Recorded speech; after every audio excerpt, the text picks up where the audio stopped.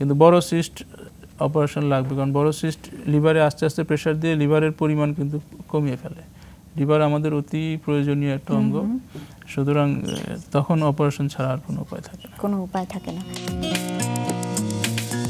আপনারা সাধারণত এই ধরনের রোগ শনাক্তকরণের জন্য কি কি ধরনের পরীক্ষা নিরীক্ষা করে থাকেন?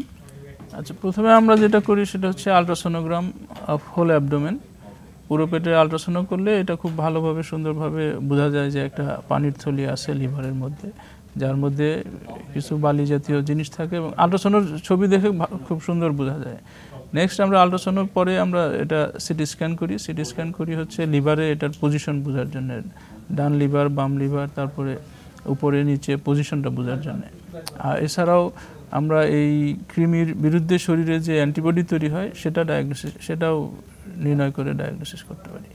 আচ্ছা আপনারা যখন এই যে এভাবে ডায়াগনোসিস করেন যে আলট্রাসোনোগ্রামে আপনারা যেটা বলছিলেন যে পানির থলি দেখতে পান সেই ক্ষেত্রে যখন আপনারা নিশ্চিত হয়ে যান তারপরে কি একমাত্র চিকিৎসা আপনারা সার্জারির দিকেই চলে যান নাকি অন্য কোনো আপনারা দ্বিতীয় কোনো চিন্তা থাকে যে এখন সার্জারি না করলেও চলবে?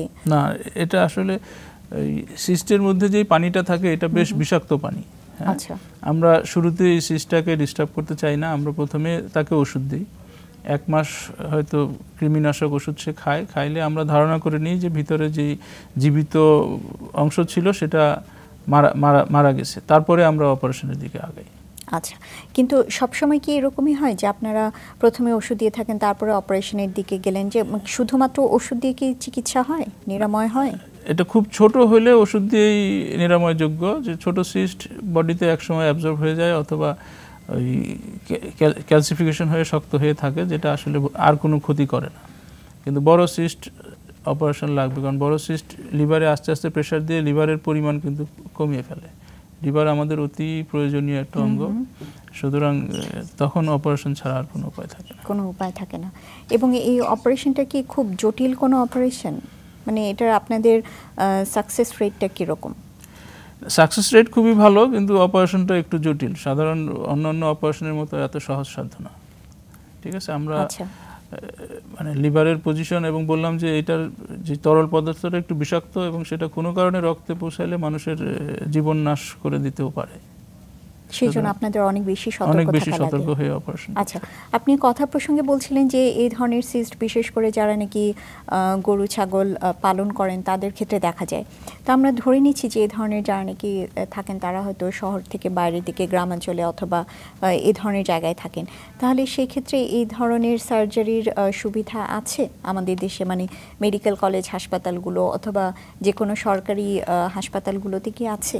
যে কোনো সরকারি সার্জারির কথা বললেন। যে কোনো সরকারি হাসপাতালে হয়তো নাই কিন্তু টার্সিয়ারি লেভেলের যে হসপিটালগুলো আছে মেডিকেল কলেজ হসপিটালগুলো সেগুলোতে আছে। সেগুলোতে এই অপারেশনগুলো সম্ভব, হচ্ছে। সেগুলোতে সম্ভব। আচ্ছা এই যে এই সিস্টের কথা বললেন এই সিস্টের কারণে কি ব্যথা হতে পারে? সিস্ট যখন বড় হয় তখন লিভারের যে একটা ক্যাপসুল থাকে সেটাতে টান পড়ে। তখন এটা ব্যথা হয়। আচ্ছা তখন এই- এবং হয়। রোগী শুধু এই ব্যথা নিয়ে আপনাদের কাছে আসতে পারে? তারপরে আপনারা হয়তো পরীক্ষা নিরীক্ষা করতে গিয়ে হ্যাঁ, দেখলেন হ্যাঁ, যে যেহেতু আমি আগে বলছি যেহেতু এই রোগটার আসলে প্রাথমিক পর্যায়ে তেমন কোনো লক্ষণ থাকে না এরা আসলে আসেই অনেক বড় হওয়ার পরে। পেটে ব্যথা নিয়ে আসে অথবা পেটে চাকা নিয়ে আসে। আচ্ছা।